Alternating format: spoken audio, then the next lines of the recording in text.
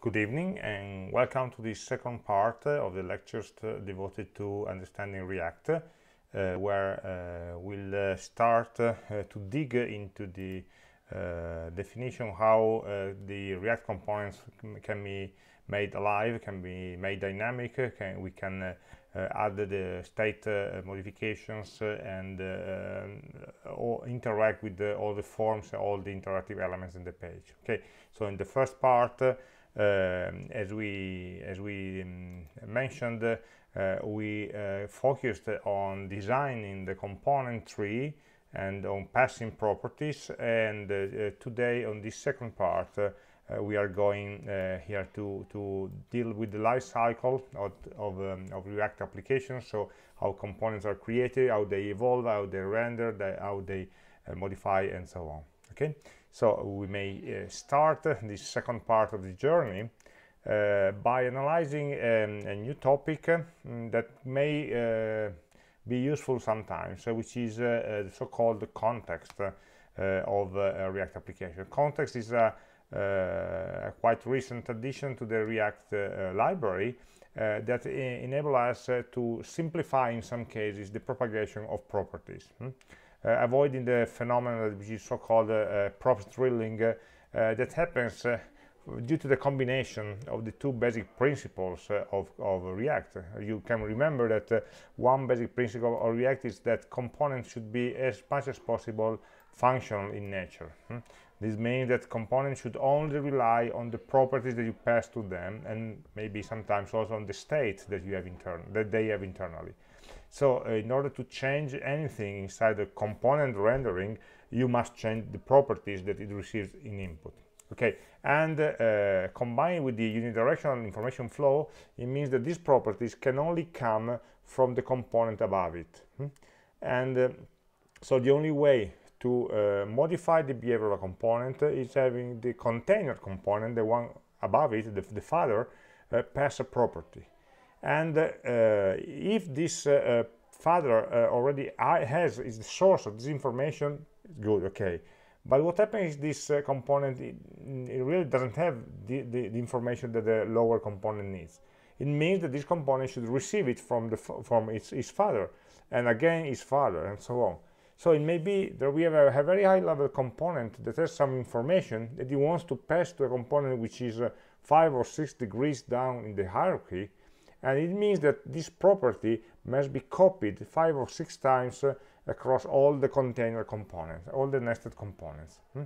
So we need to drill through all the, uh, the, the, layers of components in order to reach uh, the only one that really needs the information. All the others are just passing the value through without needing it in, for, for any other purpose. Hmm? So that's why uh, they introduced the, the context API, which is a set of, of, uh, of, of functions uh, and objects, uh, very, very small, that offers us a, a, a, solution to this problem by creating a global set of properties that can be automatically made available to all the components that need them in the lower subcomponents. Hmm? It's such as teleporting. You can recognize the portal games where you uh, you define something here and it uh, suddenly appears there uh, because it has been ported without needing to go through all the different layers. Hmm? Um, so this is a convenience library. can be useful for some for some applications, of course, not for all of them. Hmm? Uh, remember that here we use the word global and in computer science global uh, often is, uh, is associated with dangerous, uh, with something that is error prone that may create uh, subtle bugs that we don't want to, to deal with.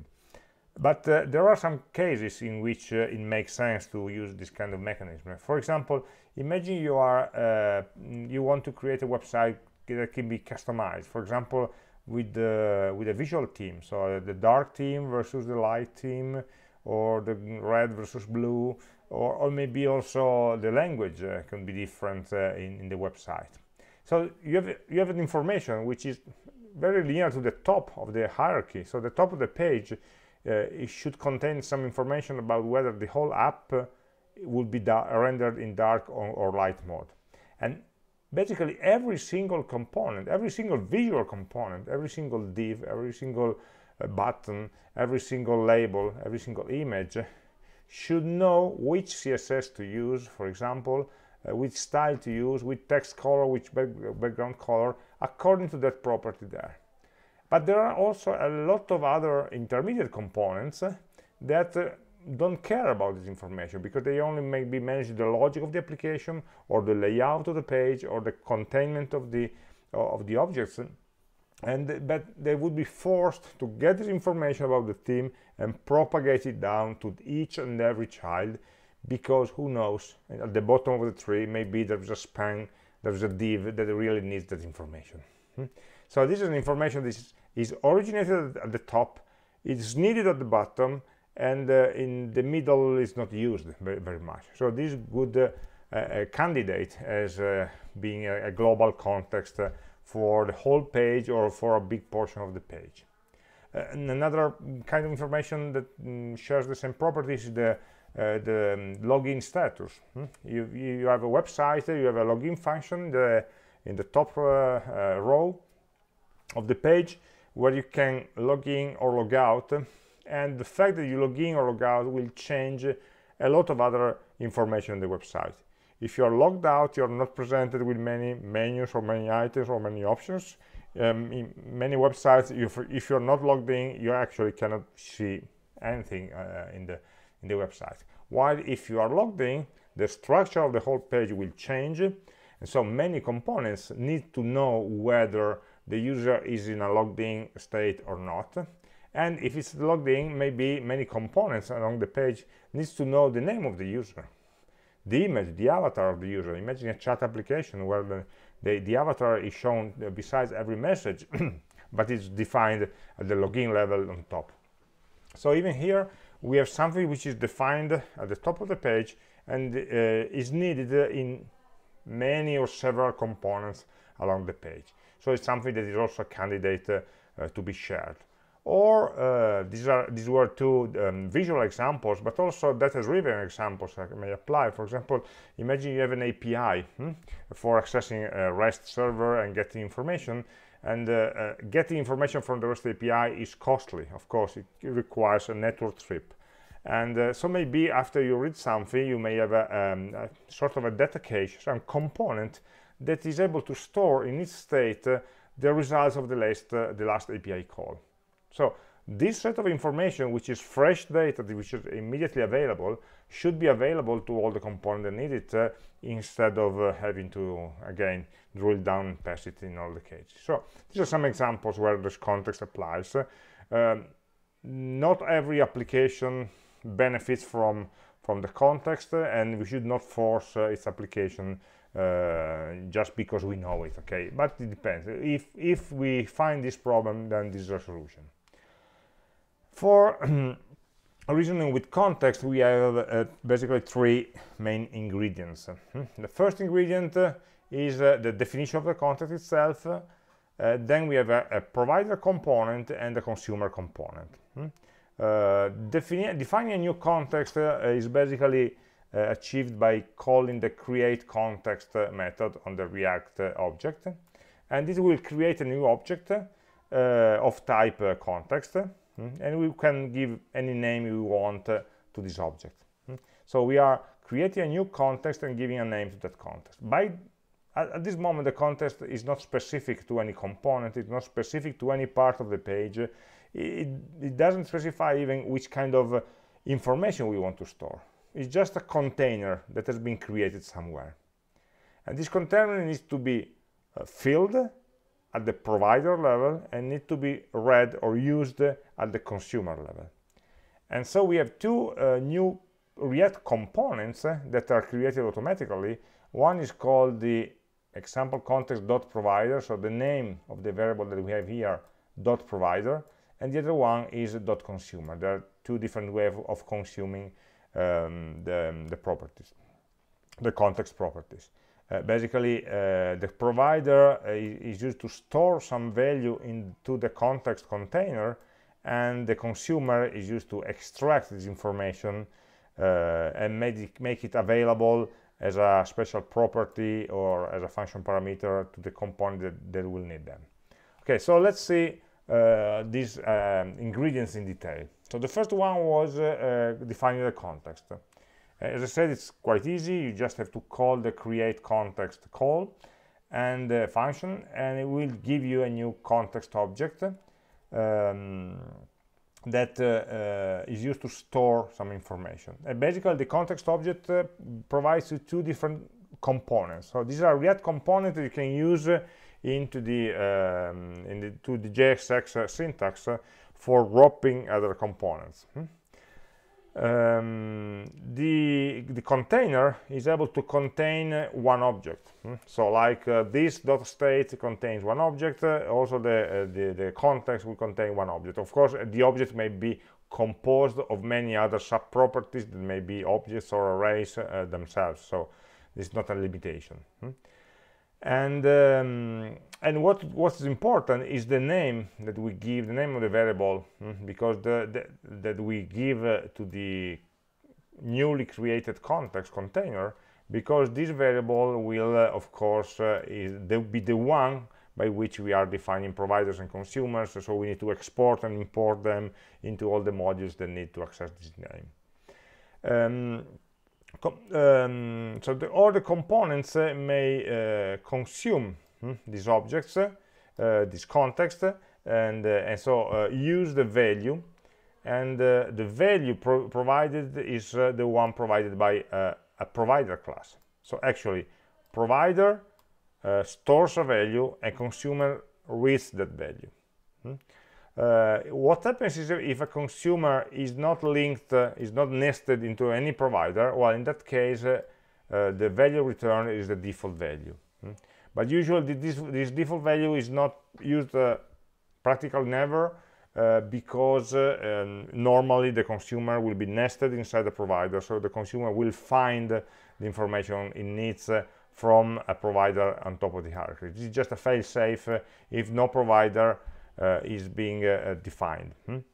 Um, but, but normally this default value is not something that you, you would rely on, on de in developing your application. Hmm? So this just creates the container, doesn't, not, doesn't do anything to your application uh, right now.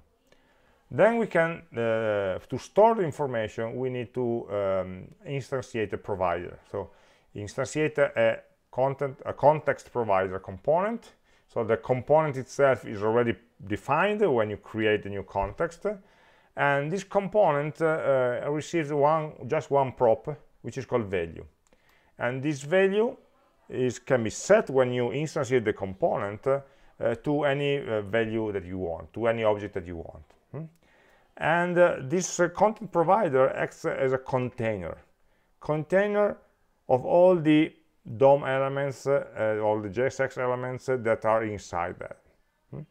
Uh, so every JSX element, every React element inside this provider may access to that value. Hmm? So a consumer, so a component that needs to access this value must be nested inside the provider. Hmm? This is a strong rule. So uh, if the provider is at the up level, the top level, then you can provide information to the whole application but maybe you only want to provide a value to a given subtree, a given portion of your application, so you put the provider on top of the subtree of components that really need that kind of value. Hmm. It may be a, a big subtree, uh, but doesn't need to be the whole page. So it's not really a global state, uh, it's global to a group of the, to a portion of the page. Hmm. It's not local like a prop, but it's not really global.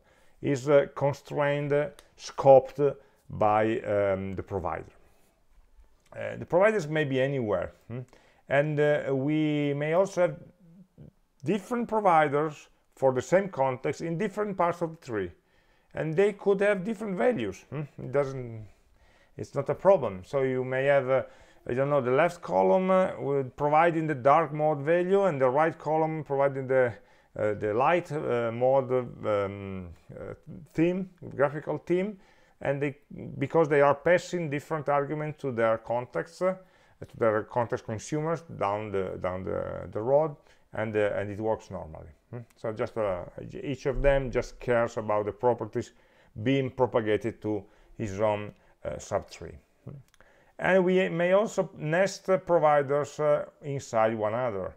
Uh, this means that I have a provider providing a value to a subtree, and then inside this subtree there is another provider for the same context with a different um, value of the value prop. Hmm? So in this case, the innermost uh, uh, provider overrides the outermost one. Hmm? So it's not an error to redefine a context value for a smaller set of, uh, of, of, elements. Hmm?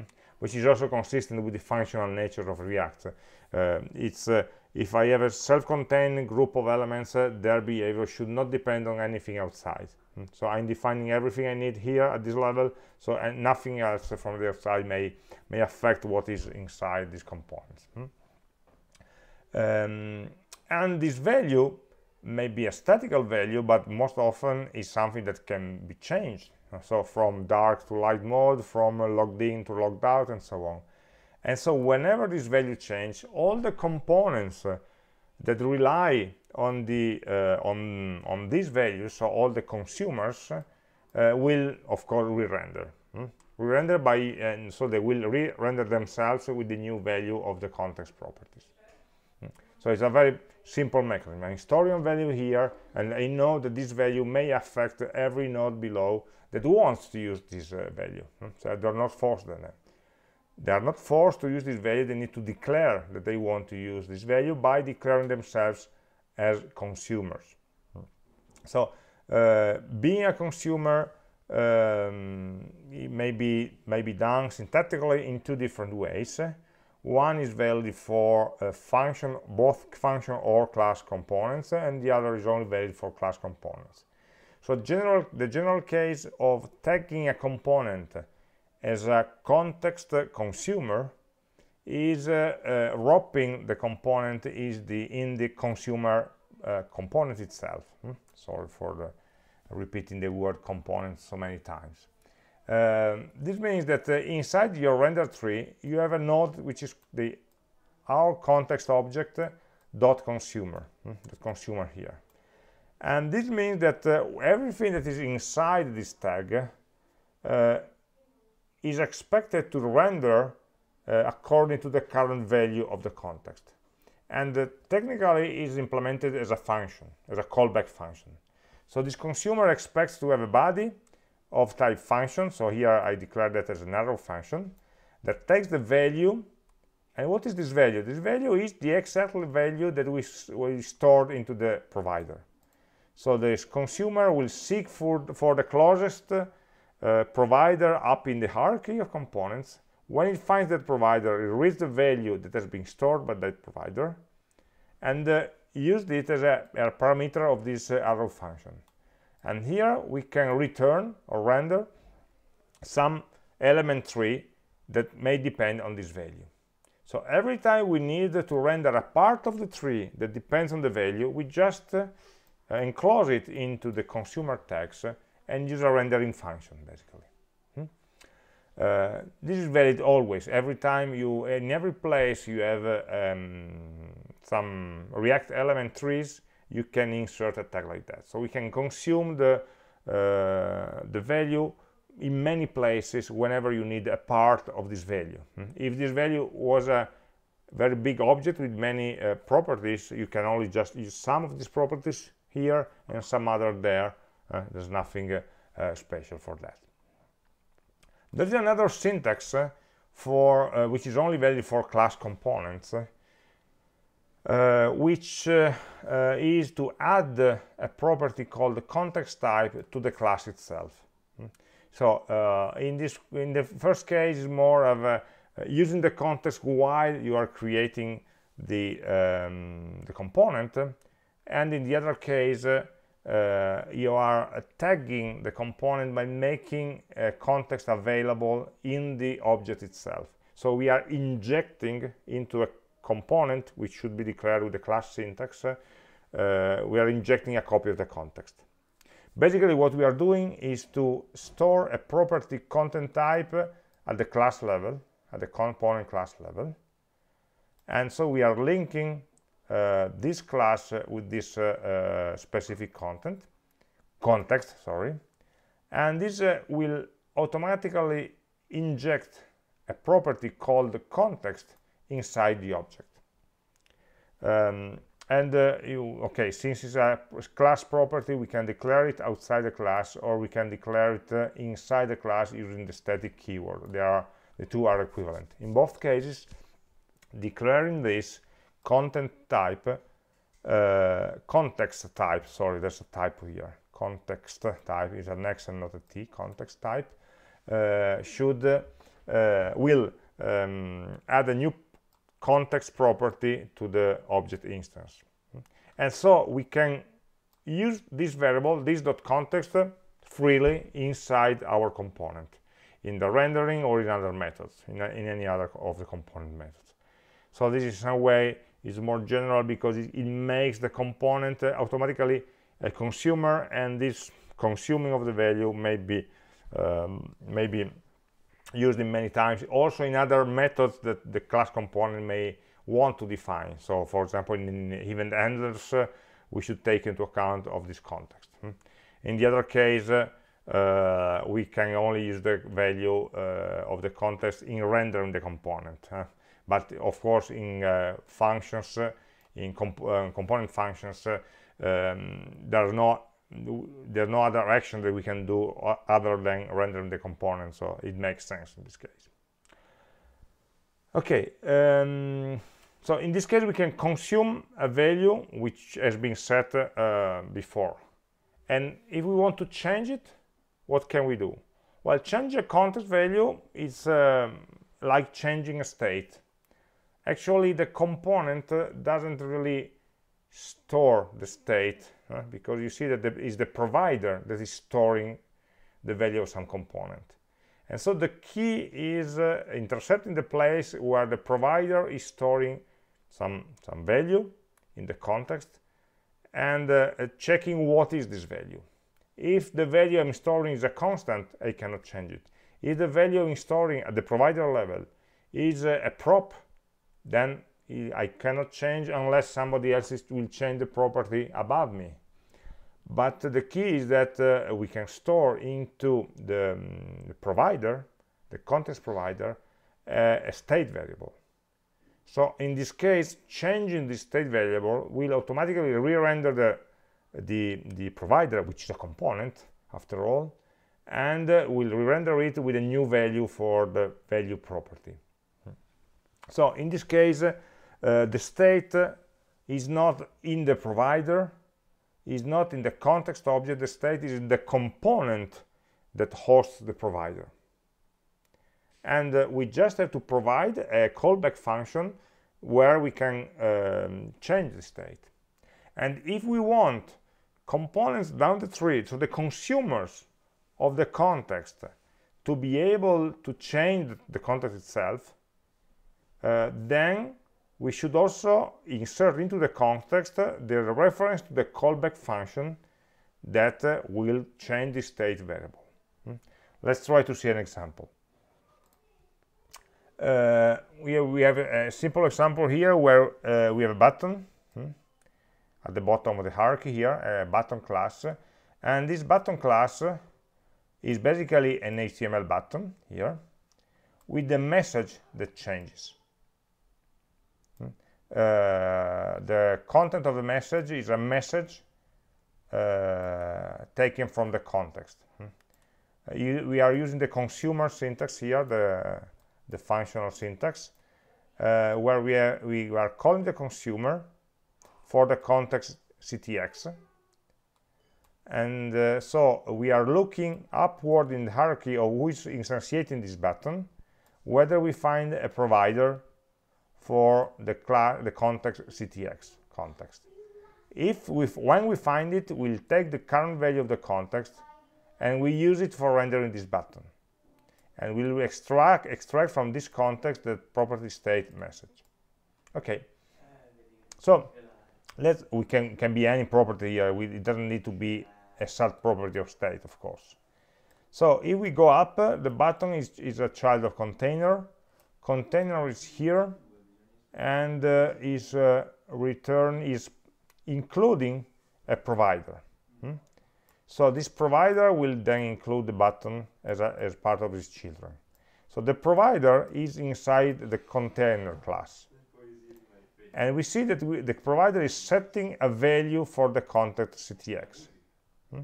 so this context has been created somewhere outside the slide uh, with a simple react.create context call and the value we are passing is uh, uh, an object. You see the double brace. The first brace is for entering into javascript. The second brace is for delimiting the object. Object with two components two properties state and update message. State is actually the state of the container object. You see there we initialize, initialize the state variable with a message msg? I'm passing right now the whole state i may also pass just the um, the, the, some properties if I want. Hmm? There's no specific, special limit or constraint here. We are just passing an object uh, initialized with some values. And we see that besides the state, uh, we are also uh, sending a, a function, update message. This update message is a function that is stored into the context, and we see that this function is used uh, on the on-click event of this button. We'll see more the event later in this lecture. Uh, but basically, when we click on this button, this update message function is called. Uh, this update message, you see, is not here, is not mentioned in, in any property here. It's just available thanks to the consumer just teleported these two properties, state and, and update message, at this location in the code and we see that the update message is nothing more than a set state function, a callback that will call the set state to change the message. So what happens here is that the, the, uh, the button uh, initially takes a value for this message, which is hey message, and once it's clicked, the context is changed. Well, basically what happens is that, is that we, we are changing the state here on which state the context is dependent. So we are changing a state from which we are computing the current value of the context. So changing the state, of course, changes this property from hey to ho, and uh, calls the render method here. Calling the render will recreate a different provider because this value here, this object here is changed. And of course, we'll re-render the container and then we'll render the button and uh, in the in re-rendering the button we are calling this render method that will uh, seek uh, will activate this consumer that will seek the current value of the context values hmm. so this is the uh, the basic mechanism it takes a while to to see the connections you see that the, the strong connection here is the name of the context object ctx ctx and the value that we store there hmm. and this uh, reliance of, on the value stored into an object is a key point in all the React framework. Uh, so once we, we learn this, uh, we just have to be aware, uh, don't use this solution for every problem. No, this is not a solution for every problem. Uh, don't put everything into the context, don't, don't overuse the context uh, API because in some way it defeats the purity and the functional behavior the idea of, um, of React uh, because it makes a component less reusable. So a, a, consumer component, imagine the consumer component relies on a given provider that should be above uh, this component in the hierarchy. And uh, so it means that we cannot reuse or move this component anywhere, but only in some places where this context is provided. And also the name of the context provider should be known and so it's another dependency. So we are constraining a bit more the location in which the, the consumers may appear. And um, don't use context just because you're lazy. I know programmers are always lazy are always seeking shortcuts in their implementations. But uh, when you need to only go through two or three or four layers of components to pass a prop maybe it's better to be explicit in passing the prop uh, instead of uh, instantiating a, a context that doesn't have real uh, um, the real meaning, the real semantics of a context, but it's just some uh, quick and dirty way to pass a value down. Okay, and uh, being explicit with the property is also a, a good uh, documentation practice, so we should rely on that. And uh, and again tr don't try to use the context to to propagate some information in a different place of the application because it would be difficult to propagate it otherwise hmm? in many cases uh, you need to rethink or refactor the, the location of the state many times uh, before you find a good location for your state depending on the behavior of, this, of your components hmm? so uh, don't just say okay i'm putting everything on the top and uh, providing it with a context uh, because it will defeat all the component architecture really try to think whether you're if you're if you think that you're you need really a lot of context providers maybe your state locations are not right. And so you should lift up or down some states uh, or reorganize a bit the component tree uh, to find uh, better uh, better fitting solutions. And also there are some uh, uh, Uh, other methods that can be used for uh, obtaining similar results uh, to what you could get with a context hmm? for example there's a quite powerful method in which you can pass to a component a property which is actually a function. Oh, we are doing that every time. But normally the, what you are passing down are event handlers or a callback function for changing the states. But we could also pass down to a component a function that will render the component itself.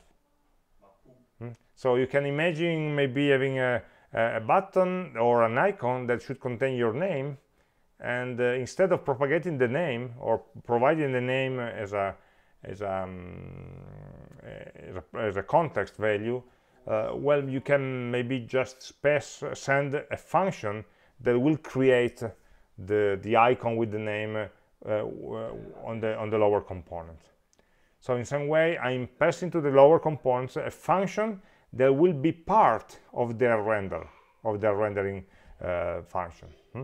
So in one property, we are not sending a set of data so that the lower component will be able to render itself, but we are mm, sending just one prop, which is a function that has the intelligence when it will be called at the lower level uh, to render itself.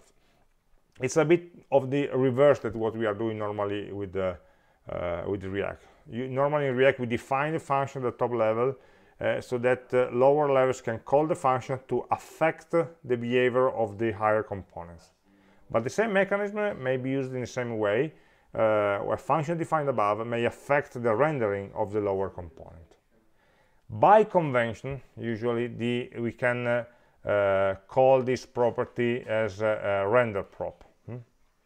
Uh, so we, call, we, are, we can send a component defined in JSX, which is just a function, a set of objects or we can just set a, a, a, property called render we can call it as you want but by convention if you call it render is easier and then we can be called uh, at the bottom level hmm? so you can pass part of the component or a function to build part of the component this is just one item that you can pass through and this item will have all the variables uh, will close over all the variables that it needs uh, and that are available at the, at the higher level or another method is uh, for passing information, so for having uh, the control by a top level component over the lower level component is manipulating the children.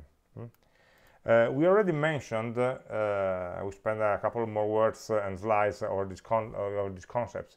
We already mentioned that all the children of a given uh, node are available in a special property which, that is called the props.children.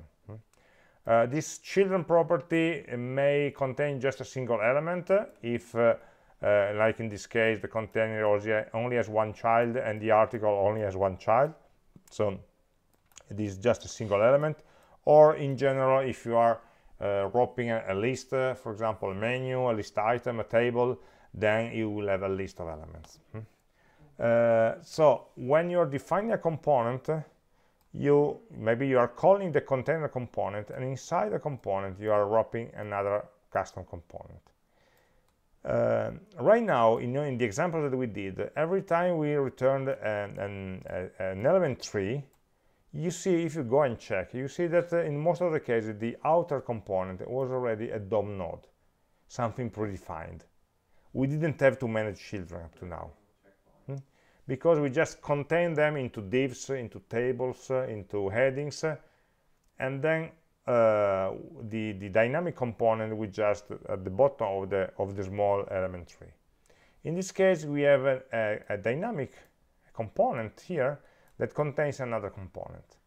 So what the semantics here? Well, just in the render of the container uh, component of the of the external ones uh, one, uh, I can use the children, which is a list that corresponds a list of a single element that correspond to what is nested here in the JSX code. So this will be actually uh, this uh, rendering block would actually take the article and wrap it into a class container. Hmm? So we are changing the wrapping around the children. This is easy actually, but we can do more because this props.children is just a, a sort of a collection of the children elements that can be manipulated in some way. So we can manipulate the children by um, using, for example, a, a, map that will change the behavior of each child. We can reconstruct the children. We can clone them. We can change their properties. Uh, the map is used to, to recreate a new array with the, um, by, by taking each one of the initial elements and uh, changing them. Hmm? So we, in some way we can manipulate the children inside the function of the of the um, of the parent. Hmm? Uh, children is not a real uh, a real, a real array. It's just a uh, data structure that supports the map and for each methods. If you want to uh, apply all the other array methods uh, you can use toArray and so at that point you can sort them and uh, you can do any sort of manipulation with the children. Hmm? there's much more to this but at the moment let's just be happy with knowing that if a parent needs to modify the children then uh, you you should look the, for the documentation of the children um, object inside so it's a special type of data structure with adult children that allows you to do any sort of uh, on, on, manipulations on your children hmm? so this was just for uh, the moment uh, the different ways where we can speed up the propagation of values or of behaviors of rendering behavior from top to bottom hmm? um, now we can be a bit more specific uh, and see uh, what what else a component is doing other than rendering itself. Of course rendering itself is the key is the core of the react framework uh, but it's not the only function that we want to uh, to enable actually. And so every component has a specific uh, life cycle hmm, which is called here. Um, so uh, the, the, render method in the component is the most important one, of course, is the most important action, and is the reason why the component is always updated you know, by, by calling render many, many times. But actually, the life of a component uh, uh is, a, is a cycle that will start when the component is born, is first created, with a, an operation which is called mounting. Hmm? Uh, mounting is a process of different steps and it uh, it's correspond to cre the creation of the component and the insertion of the component into the DOM. Well, to be precise, the insertion of the React elements uh, of the correspond or the DOM elements corresponding to the virtual DOM defined by the React elements.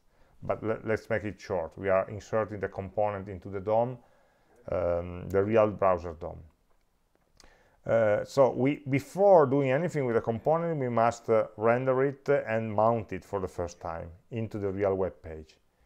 Then the component is alive and it can be updated many, many times. Every time a prop changes, every time the state changes, every time a provided context changes, well, this component needs to re-rendering.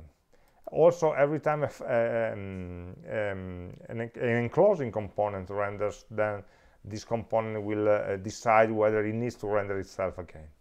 So inside this updating state, uh, the component uh, will be updated many, many times. Until, for some reason, the component is no longer needed, and so it needs to be um, unmounted. So in this case, the component is being removed from the DOM and will not be available anymore. Hmm? Each of these three stages hmm, as is marked by different uh, step of, of, of steps, um, sequence of, of, of operations, of sequences of steps, which are summarized in this picture here. So when uh, the mounting process of a component, uh, first, uh, of course, we need to create the object, and so as any JavaScript object, we first call the constructor function. So we execute the code inside the constructor, then the component must render itself for the first time with the default value from the constructor. And, um, and then the React will update, will generate the virtual DOM and update the DOM. And, uh, and the reference we'll see later what they are.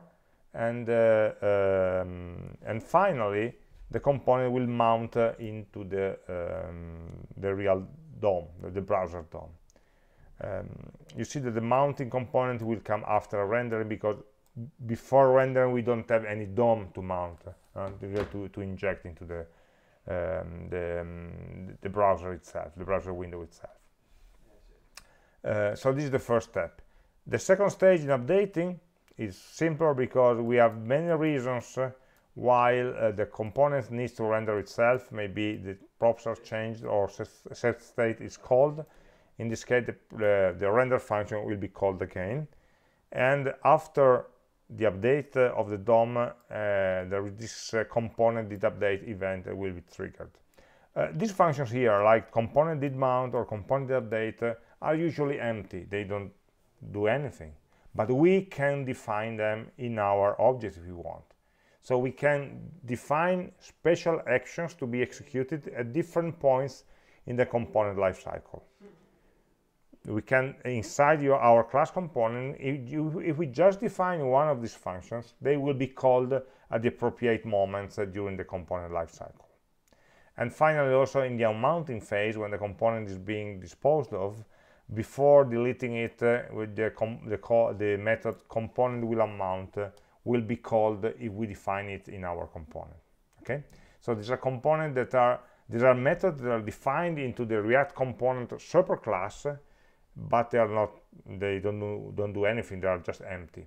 If we want we can redefine them each of them at the component level. We know that the render method must be redefined the constructor should be present but the other three are just optional. And so in more detail uh, we know what the constructor should do. The constructor should uh, uh, initialize the properties uh, with the superclass it should initialize the state and of course, since this is a initialization or better, it's a, the creation of the state, we should just assign the state with, a, with an initial object. Hmm? In the constructor, we never call set state. It's forbidden. The state is not yet defined in the constructor. We can only create an object that will then be uh, interpreted or used as a real state variable by, by React.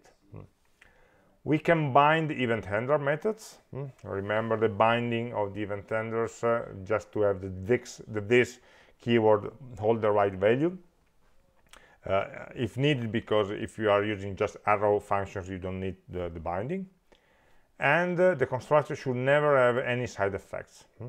So it should be a pure function uh, that should not modify anything outside the binding of the, uh, the, the functions the local functions and the state hmm? the only two modifications that we can do inside the constructor. Then we have render hmm, that we don't spend more time talking about render because all the rest of the discussion is about rendering. And this new component did mount. Component mount is called immediately after the component is mounted so has been converted into the virtual DOM and then merged into the real DOM and in this case we know that the real DOM nodes are existing so in some cases, uh, maybe there are some initialization steps or operations that really require the knowledge of the real DOM nodes. And so this operation cannot be done in render, because render doesn't know the real DOM. It can only be done in the component did mount method. And uh, in particular, there's one operation that usually goes into this component uh, did mount is uh, uh the network loading uh, of data. So if I need to load some information from a, uh, an external server, usually the place where I want to put this information is into the component did mount, where, where I launch the API calls, I launch the fetch operations uh, here in the component did mount. The constructor is too early. Hmm? I cannot, mm, I, I, should, the state cannot be, the state initialization cannot be deferred in constructor. It should be synchronous here. It's just an assignment in this component I, I, I, may load some data and later on I can call set state when the data is available so I can um, complete the loading of the component by doing some network calls that are asynchronous so these calls will only be launched when the component is really displayed on the screen and may call set state so the component mount will not cannot modify the state no other method than the constructor can modify directly the state, but it may call set state. In this case, uh, set state will be will, will trigger another render method, hmm? like we see in the picture here. Um, after the constructor, the component is, is, rendered. And then we call component did mount. And if the component did mount calls set state, well, when the state is updated, you see, we go into a, another update cycle. So at the mounting of the component, uh, we are often doing two updates in a row. One with, the, uh, with, with, an empty state or with the default value of the state, and another with the real state. What the React documentation says is that if you call set state immediately, they call them immediately in the documentation, then of course the virtual DOM is updated twice, but the real DOM is only updated once, so you won't see the flicker. Hmm?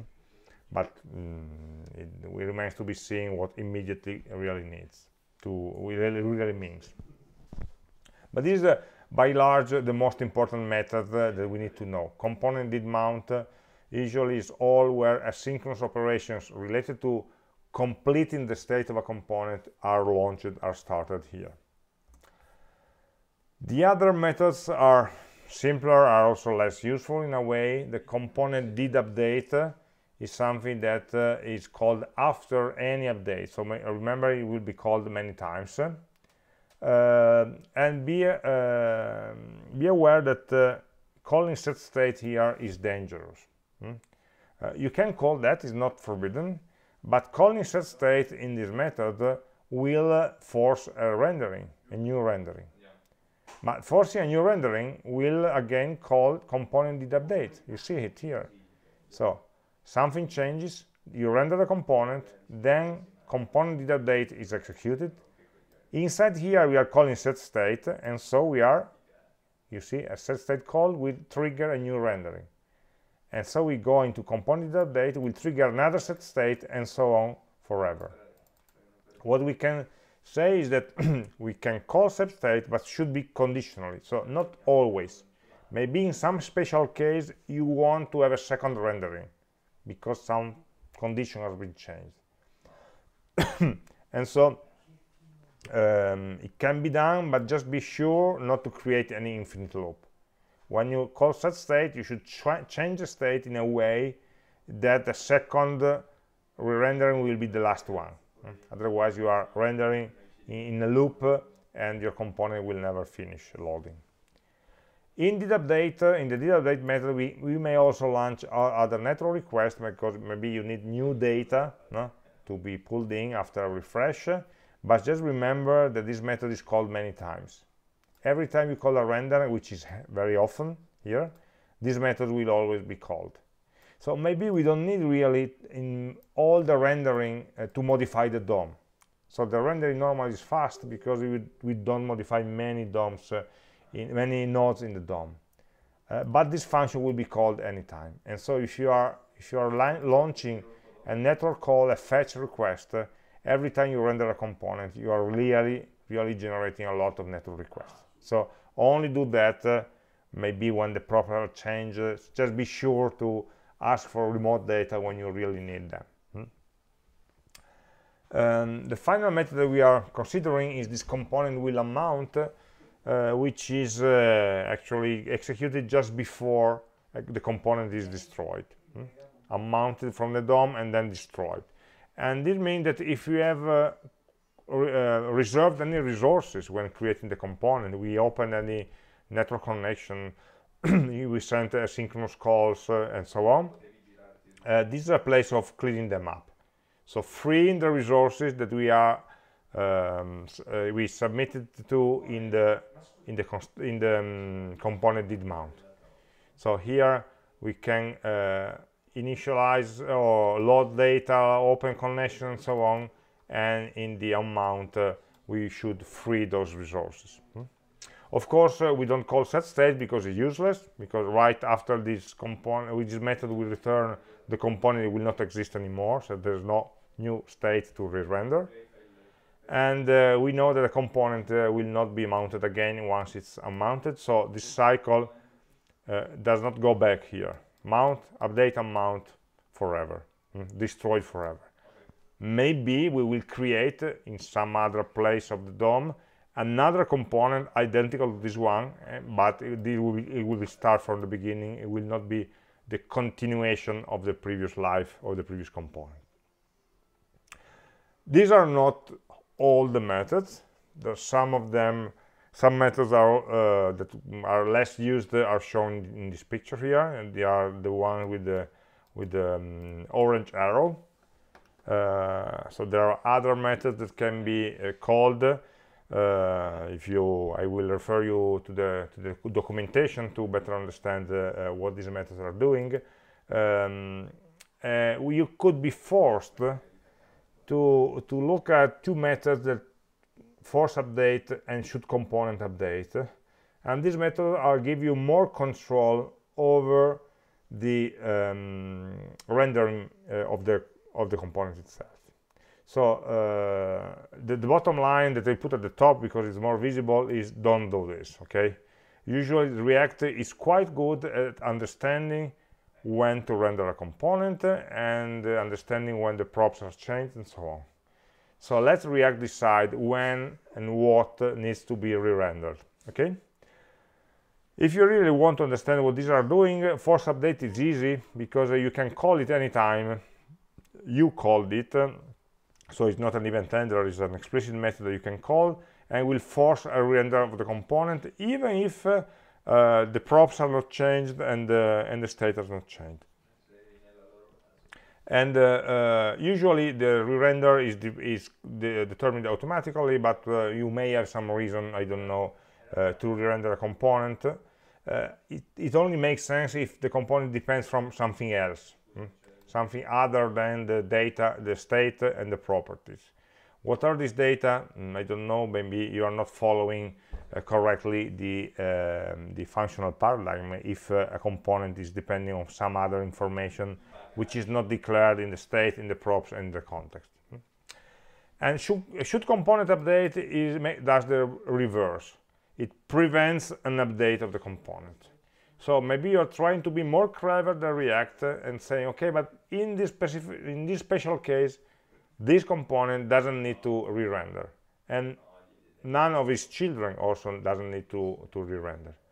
In this case, you can define a should component update method that if it returns false, it will prevent the rendering of the component. You see that this should component update is a sort of a barrier that may block the rendering operation.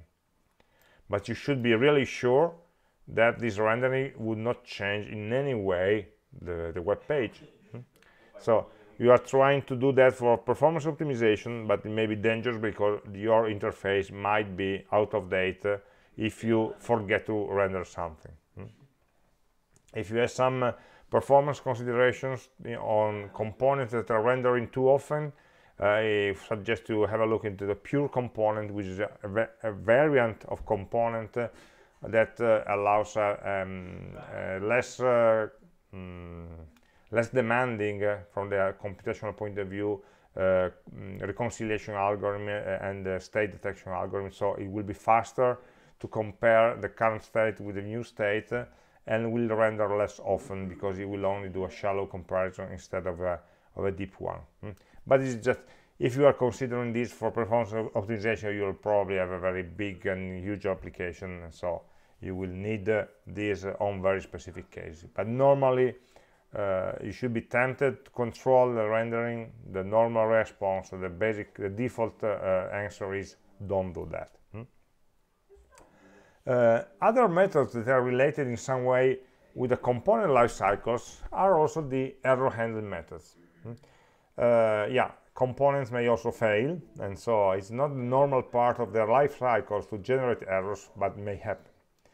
Uh, we are talking here at, about errors during the rendering okay? Not during the uh, event handlers. If something happens in an, into an event handler it's your problem so you have to try and catch uh, your uh, your sections and handle them uh, catch your promises and handle them and so on. But the rendering process is not governed by our code it's governed by react. And so react should give us a method for handling some exceptions that may occur during the rendering phase. Hmm? and uh, by default uh, if you, as you, you saw that during the development of your exercises for sure that if you make a mistake uh, uh, the browser will show an error page at least in development mode in production mode this web page is not shown of course because we don't want to show our code with errors to our customers. Hmm. Um, but uh, uh, in development mode, it's shown to help you understand what went wrong. But if you want to, to catch an exception from your code and not just to see it in the debugger, uh, you can do that by creating a so-called error boundary. An error boundary is just a component. Any component may become an error boundary. So uh, a sort of a, a, boundary, a container where the error cannot propagate further. So the error will originate into some children component, some child component, and it will just propagate from the child towards the top until it finds a, an error boundary. The error boundary is able to manage in some way the error, and so will not propagate further. If it finds no error boundary, so if we don't do anything special, the error will pop up and propagate up to the application and then will generate the error page. Okay? So what transforms a normal component into a component with this error boundary uh, capability? Well we just need to define one of these functions or both of course. Get derived state from error or component did catch. They do they serve different roles uh, there are more details, of course, at this link, so we'll uh, just see the, the basic information here. Um, so uh, they are they have two different uh, uh, roles. Hmm? The get derived state from error, which is a long name, is uh, the method that tries to recover from the error by changing the state. So of course, uh, uh, the rendering may go may go wrong because some state is wrong. It has some state combination values which are not consistent or something like that. So we are receiving, this method will receive a copy of the error that was thrown down the level and will return a value and this value is used to update the state. So it's a sort of an implicit set state. If I'm calling this, I'm receiving an error, I try to reconstruct a state object that will not generate the error anymore. So we trigger a re-render and uh, um, and uh, because we are changing the state. Uh, we hope to correct the issue so that the new rendering will render a different interface from the one that we were trying to render before, but it generates an error. Uh, what happens if the if this change, uh, this hop uh, is not uh, successful? So if we are changing the state but the error still occurs well the second time we'll get the error page. But at least we have one chance of correcting an error. Hmm. uh, it's part of the render phase so imagine you are inside the rendering so you are in a pure functional method which you, ca you cannot modify any properties anywhere any other state you just have to return a correct value of your current state if you can uh, so this is uh, something for recovering or to let for letting the application continue even in the presence of the error. The other method, the component did catch, uh, catches an error that has been thrown by the sender component, like like before, and it gives you all the information about the error. Uh, it doesn't change the state. You cannot even call set state which is not be appropriate in this case and you cannot correct the error anyway. So it's not for correcting the error basically it's for logging or for saving something. Um, so it's called during the commit phase so side effects are permitted. So this means that this method is called after we try the rendering after the error has been already decided and so you can take actions uh, after the error. You see the, the past tense here. The component did catch already. It already ca did, did catch an, an error and so uh, there's nothing more to do except maybe logging the information uh, except maybe saving the state somewhere mm, into a persistent storage so that the application can be restarted maybe and you, we don't lose the data that we were working for so it's a sort of a saving outside or uh, storing information um, that uh, was caused by this error that cannot be recovered in any way. So actually it depends on our strategy. Hmm? If we try to recover the error from the error, we can use the get derived state from error for trying to repair the state when it goes when it went wrong. Otherwise, or after that, if, if it fails, we can also store some information that will help us to analyze and debug better the issue because we also have not just the error message but all the information about the stack trace all the function calls. So we can store them so that we, we can uh, analyze them later to better understand what went wrong. So this uh, second part is more a debugging uh, tool rather than an error catching uh, method. Okay so uh, unfortunately sometimes we have to also deal with errors uh, in the rendering part. The functional infrastructure of react makes it uh, very difficult to have strange errors. So in many cases once you have the first rendering uh, all the errors already pop up at the beginning otherwise the component will work. And most of the errors will be in your procedural code not in the declarative uh, rendering code. Hmm? Uh, it's, it's, much safer hmm? the, the, the functional part of react is much safer. But sometimes it may happen and uh, so the, the, strategy we recover or debug and you can have these uh, two methods available for that. Okay so i would uh, close the first part of the second lecture um, and uh, make a, a, small break and in the second part uh, we will enter into the more Uh, interactive part uh, of, uh, of, the lecture where we um, see how forms can be defined and handled in, in the react ecosystem so let's see in a second.